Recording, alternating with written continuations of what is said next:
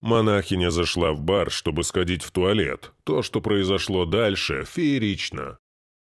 Одной монахине срочно понадобилось в уборную, поэтому она зашла в местный бар. Там было очень шумно, играла музыка и раздавались громкие аплодисменты каждый раз, когда на пару секунд выключался свет. Но когда посетители увидели монашку, воцарилась мертвая тишина. Женщина подошла к бармену и спросила, «Можно мне воспользоваться уборной?» Бармен ответил, «Конечно, только я должен вас предупредить, что там стоит статуя обнаженного мужчины, прелести которого прикрыты одним лишь фиговым листком. «В таком случае я просто буду смотреть в другую сторону», — сказала монахиня. Через пару минут после того, как свет снова погас и включился, а монахиня вышла из уборной, в баре ее встретили громкие восторженные аплодисменты. Женщина подошла к бармену и спросила, «Сэр, я не могу понять, они хлопали мне только потому, что я сходила в туалет?» «Нет, они просто теперь знают, что вы такая же, как мы», — ответил бармен. «Не хотите выпить?» «Нет, спасибо, но я все еще не понимаю, что это значит», — сказала озадаченная монахиня.